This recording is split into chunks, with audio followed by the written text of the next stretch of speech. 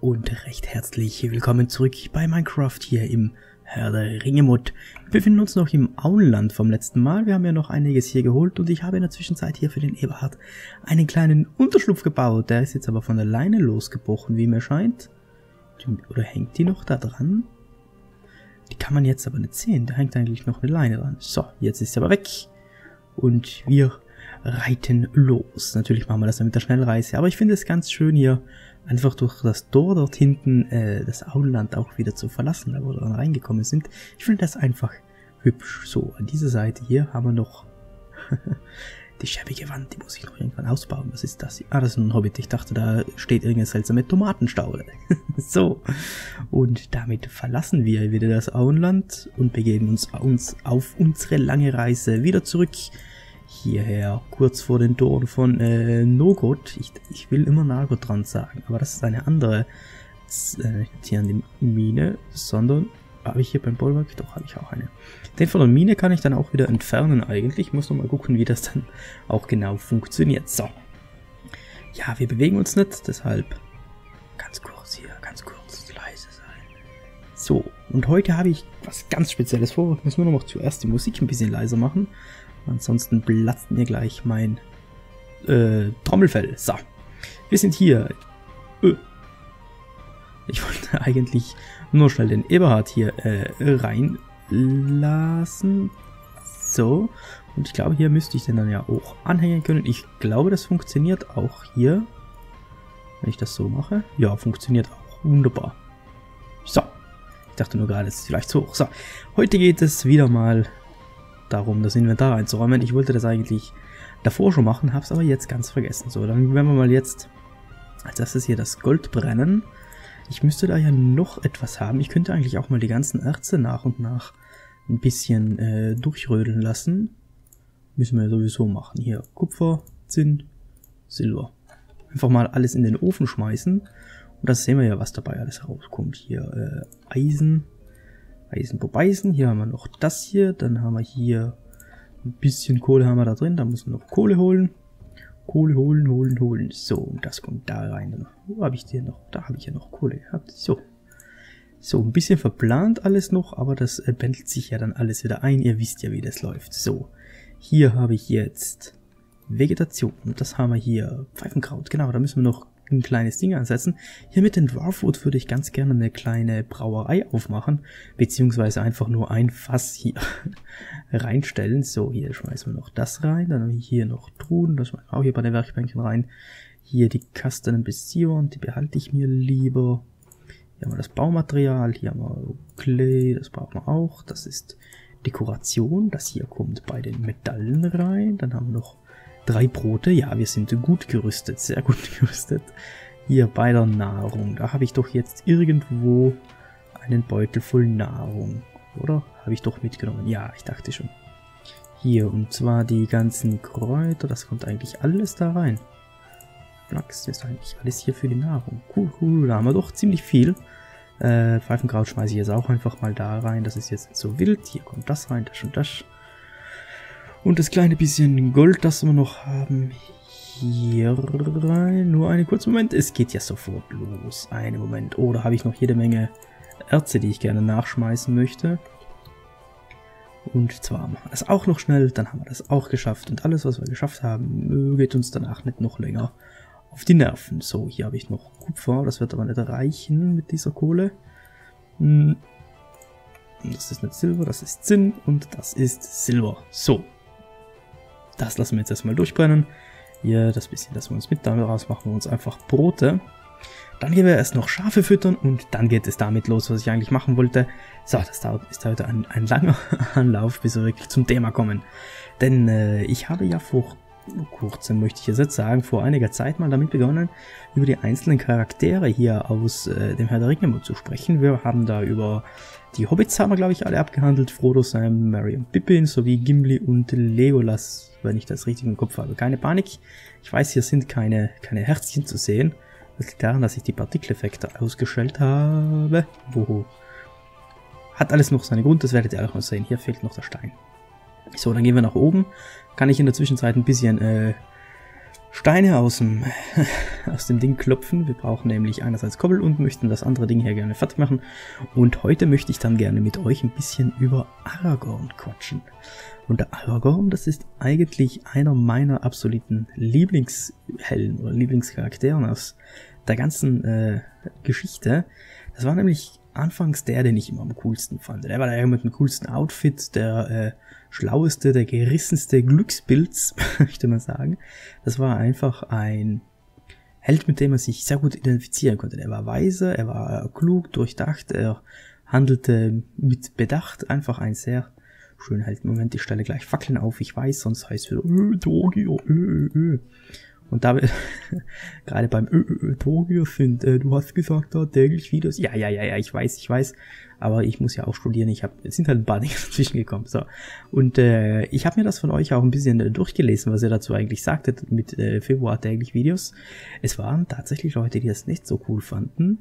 Einerseits, weil sie nicht die Möglichkeit haben, alles zu gucken. Andererseits, weil äh, Sie finden, dadurch nimmt man sich die Freude beim neuen Video, man guckt immer alles und so weiter. Und dann dachte ich mir, gut, machen wir einen Kompromiss, machen wir einfach alle zwei Tage. Ich glaube, damit sind alle glücklich und alle einverstanden. Ich bin es jedenfalls auch und darauf freue ich mich schon und das ist auch locker hinzukriegen. So. Zurück zu Aragorn. Ich weiß nicht genau, wie vertraut ihr mit der Hintergrundgeschichte des Charakters seid. Das ist ja doch ziemlich weitreichender, als man es nur durch die Filme kennt. Ähm, vor allem bevor überhaupt die Gefährten zusammengerufen werden, gibt es eine deutlich äh, ausgereifte Hintergrundgeschichte von Aragorn. Das ist natürlich klar, denn immerhin ist er eher eigentlich einer der Hauptprotagonisten in den Büchern, muss man ehrlich sagen. Und auch was das Geschehen in Mittelerde betrifft, also die den großen Handlungsstrang hier nicht mit Frodo und so weiter, sondern was den Ring betrifft, die Kriege, wie sich die Völker und äh, Gebiete ausdehnen und so weiter, spielt Aragorn eine sehr zentrale Rolle. Er ist ja ein Nachfolger von Isil, äh, nicht Isildur, Elendil und äh, jetzt habe ich kurz den Faden verloren. von Elendil und äh, ist der Sohn von Arathorn, dem Zweiten. Und er ist eigentlich auch Aragorn, der Zweite. Und äh, seine Mutter hat ihn aber schon im, Jahr, im Alter von zwei Jahren, glaube ich, wenn ich mich richtig entsinne, nach Bruchtal geschickt, da sein Vater schon verstorben ist. Und dort wurde er von Elrond aufgezogen. Da gab man ihm dann auch einen anderen Namen. Den weiß ich jetzt nicht genau auswendig. Ich weiß nur, dass er auf Quenya so viel wie Hoffnung bedeutet. Und das ist eigentlich eine lustige Tatsache, dass in den Filmen sehr viele Dialogzeilen von Aragorn eine Anlehnung auf eben diesen Namen sind, den man ihm als Junge gegeben hat, eben Hoffnung. Deshalb hat er dann immer wieder Hoffnung gibt es immer oder äh, keine Ahnung. Die Hoffnung, äh, so irgendwas. hat halt so Hoffnungssprüche.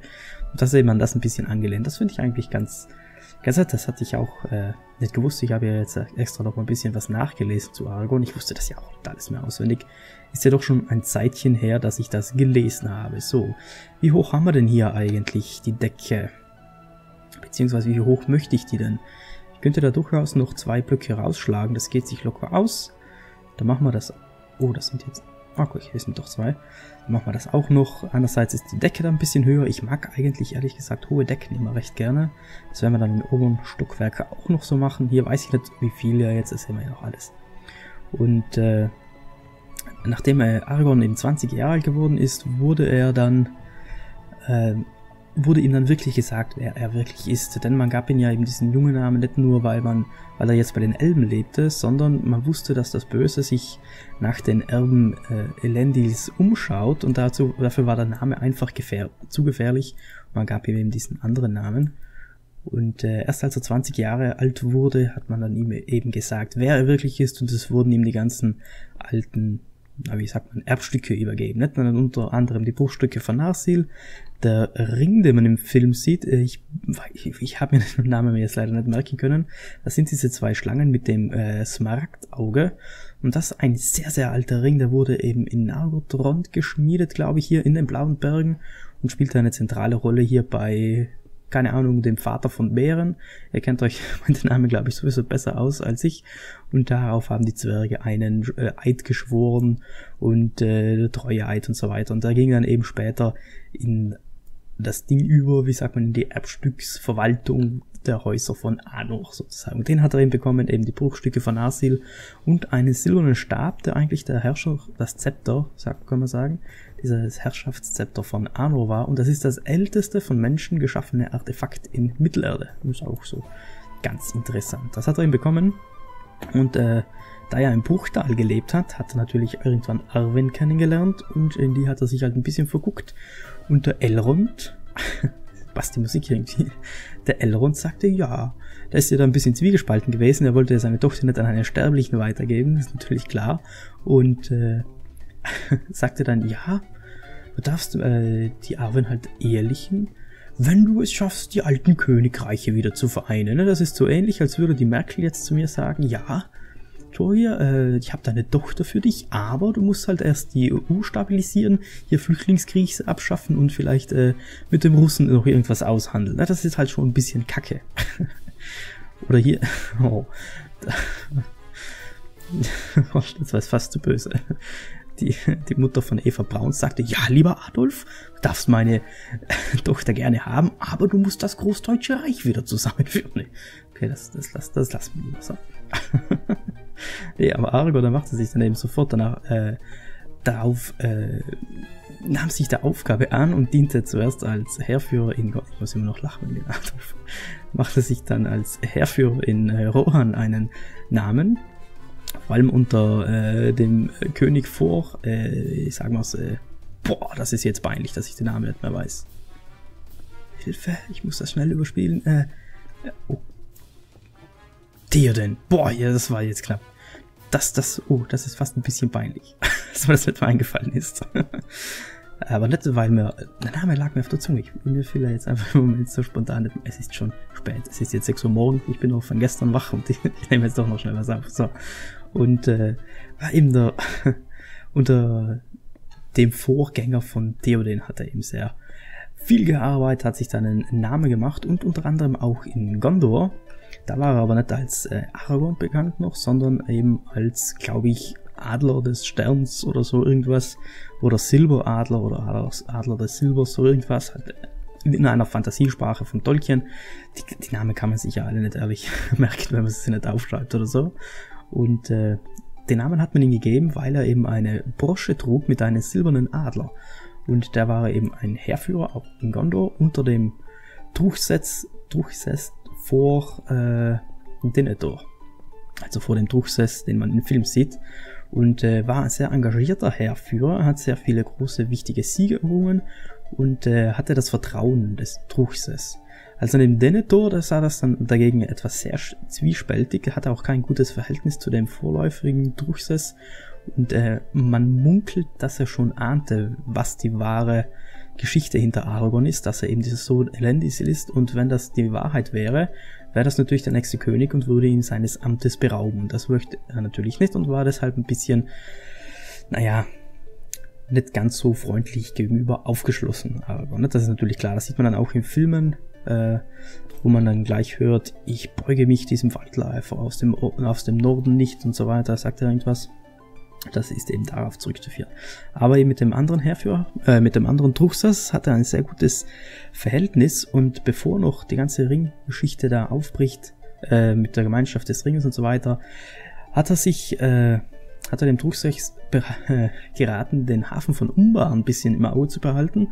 Denn Umbar ist äh, stark geworden, man sollte sie nicht zu stark werden lassen, denn die Korsaren waren natürlich eine sehr große ähm, sagt man, eine sehr große so, äh, Bedrohung, vor allem für Belagir, die Hafenstadt.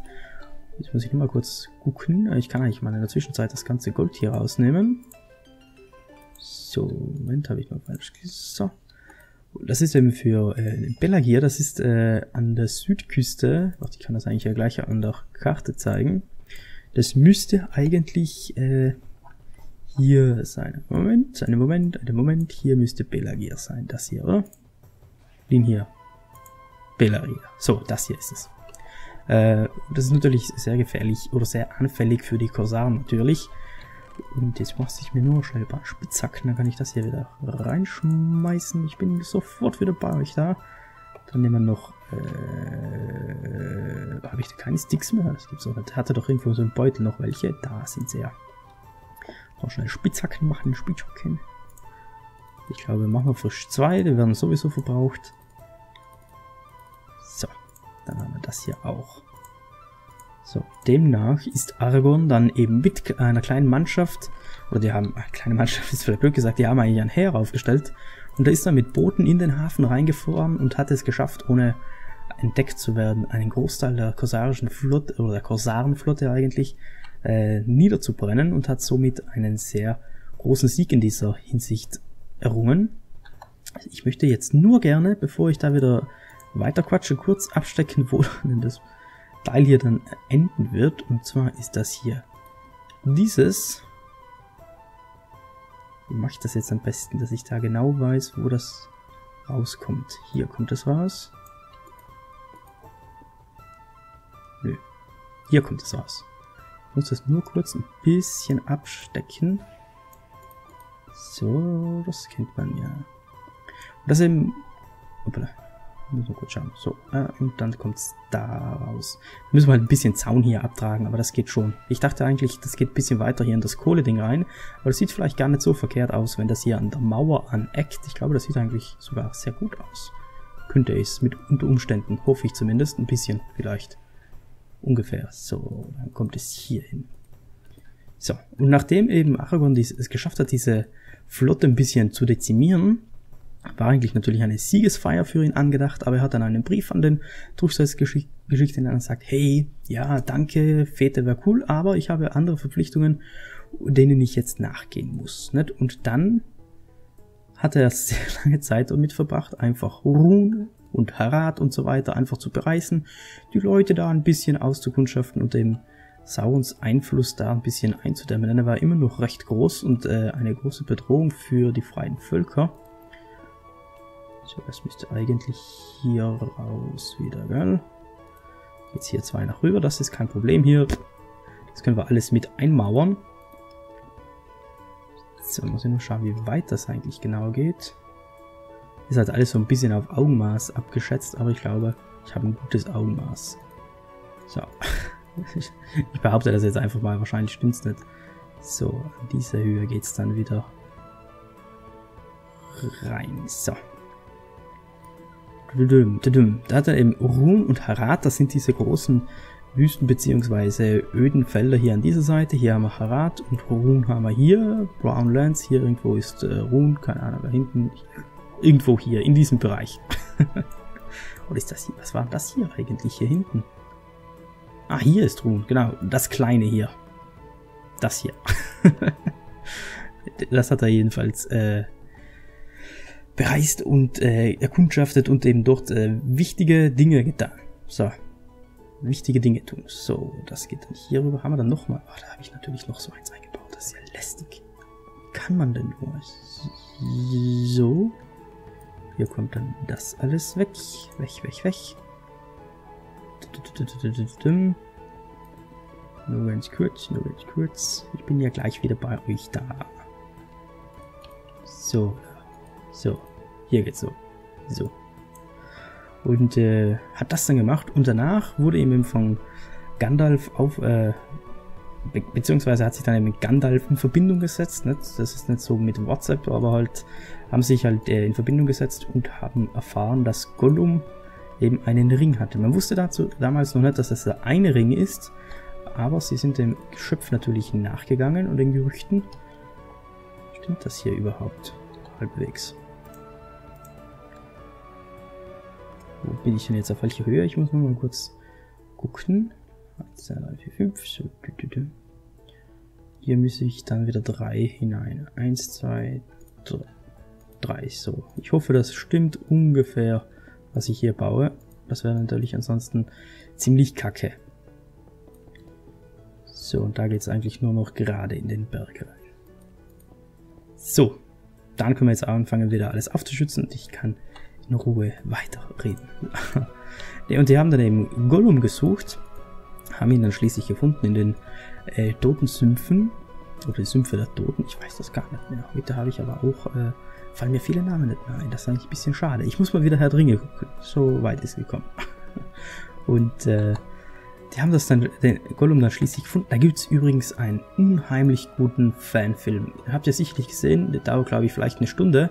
Und es geht da, äh, ich, ich, weiß nicht genau wie der heißt, er ist leider nur in Englisch erhalten, aber wirklich sehr, sehr gut gemacht. Vor allem mit den Kostümen. Es geht darum, eben wie Aragorn äh, Gollum verfolgt und äh, versucht ihn eben einzufangen, beziehungsweise den er halt eben einfängt. Das ist wirklich sehr gut gemacht, muss ich sagen. Ist wirklich unheimlich gut. Hat mir sehr gut gefallen. Äh, ich glaube, der Hunting, Gollums Huntdown oder so, ich, ich, bin mir wirklich nicht sicher, wie der heißt. Äh, ich gucke aber nochmal. Ich gucke nochmal nach, dann schreibe ich es euch in die Kommentare. Falls ihr mal nicht wisst, was ihr eben tun könnt, könnt ihr euch den sehr gerne angucken. Ist wirklich sehr gut gemacht. Und die haben dann schließlich Gollum gefunden und haben ihn äh, zu Dingol in den Düsterwald gebracht. Äh, nicht Dingol. Zanduil natürlich, dem Vater von Legolas. Ach Gott, heute habe ich wirklich so einen Rittel drin. Es sind aber so viele Namen und Ortschaften und so weiter, aber naja, es geht schon, es geht schon. Ihr versteht mich ja so halbwegs zumindest. Und äh, dann ist eben der Ring in den Besitz von Frodo gekommen und das weitere kennt ihr ja und da war dann eben Aragorn natürlich unter anderem auch ein Teil der Gemeinschaft und sobald sie eben erfahren haben, dass das der eine Ring ist, haben sie natürlich dazu aufgemacht, äh, den Ring nach Mordor zu tragen. So, Aragorn konnte dann natürlich nicht das Ding vermeiden, dass, äh, dass die Gemeinschaft zerbrochen ist und so weiter. Die Geschichte kennt ihr natürlich, glaube ich, alle von den Filmen und hat dann eben in Rohan während dem Krieg eine sehr große, bedeutende Rolle gespielt, sowie natürlich auch bei der Abwehr von der Belagerung von Minas Tirith, wo er eben den alten Schwur Elendils hier an, an der Pforte der Toten hier äh, am, am Todpass am Dimrold eben erneuert hat und so weiter. Das kennt ihr alles. Und eben mit der Armee der Toten einen sehr großen und sehr wichtigen, entscheidenden Eingriff in die Schlacht genommen hat. Als dann eben auch Sauron äh, beziehungsweise der Ring in das Feuer geworfen wurde und äh, Sauron besiegt wurde sozusagen, äh, wurde er dann zum König gekrönt. Allerdings äh, nicht wie im Film wird, wird dann anscheinend wird danach geheiratet, sondern schon davor, äh, nicht geheiratet, verlobt, Entschuldigung. Es wird schon davor verlobt und zwar als Aragorn, bevor sich eben die Gemeinschaft zusammensetzt, ist er nochmal kurz in Lothlorien. Keine Ahnung, was er da genau, gemacht hat. Ich weiß es auch nicht. Und hat sich da eben am äh, Kelib, Amon Kelibr so irgendwas. Moment, das ist auch auf der Karte. Ich könnte ja eigentlich einfach nur viel öfter die Karte nehmen. Das müsste hier einer der Hügel hier sein. Haraskadar, das ist nicht. Kerin Amorth, genau hier. Da hat er sich eben mit Arwen verlobt. Moment. Ich glaube, ich trage das frisch ab. Hier sind wir jetzt oben, da tut man uns ein bisschen leichter. So. Und danach wurde eben zum König gekrönt und äh, eines, hat eine sehr weise und sehr friedliche Herrschaft genossen. Ich glaube, über 120 Jahre noch war er eben König von Gondor und Arnor, dass er eben seit der Krönung von Elendil erstmals wieder vereint war und unter allen Erben Elendils ist er wohl der, der Elendil als am ähnlichsten war, also von der ganzen Herrschaftsdings-Zeug äh, aus, sowie auch von der Führerschaft, Persönlichkeit und so weiter. Und deshalb wurde er beim Volk sehr hoch geschätzt.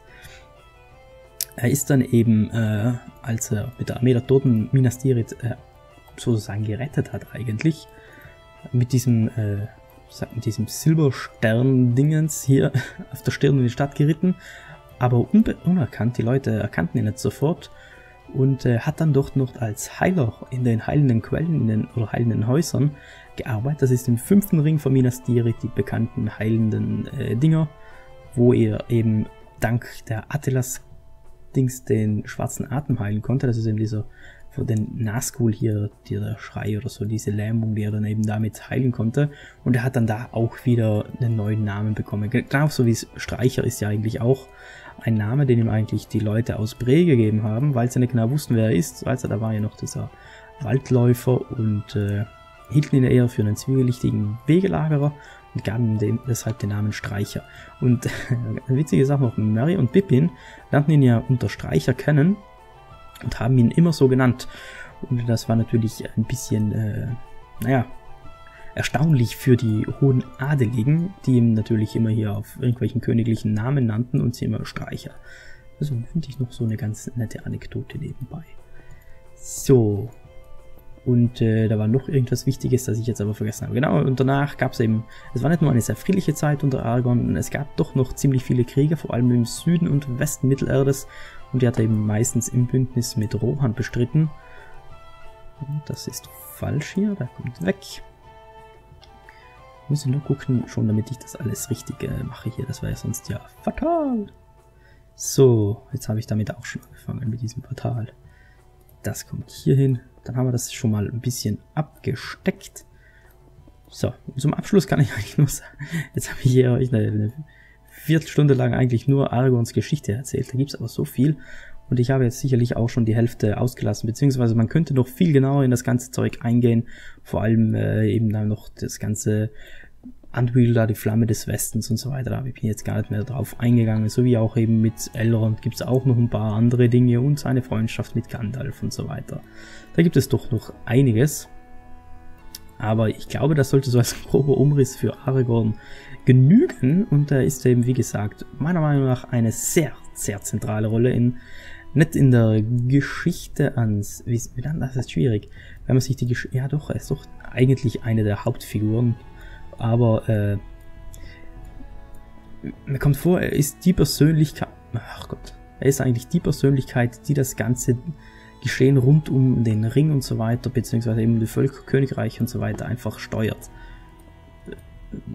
Das ist schwierig zu sagen, aber es ist für mich einfach mit der Biografie, äh, ganz ehrlich, da ist man Mittelerde, kann man schon fast sagen. So, ich habe die Steine fertig, das heißt, es ist vorbei.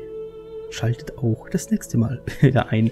Äh, nein, ich hoffe, euch gefällt das ein bisschen, wenn wir ein bisschen genauer über die Charaktere quatschen. Beim nächsten Mal äh, weiß ich noch genau. Ich glaube, vielleicht sogar Gandalf, aber es ist ein sehr, sehr tiefgreifendes Zeug.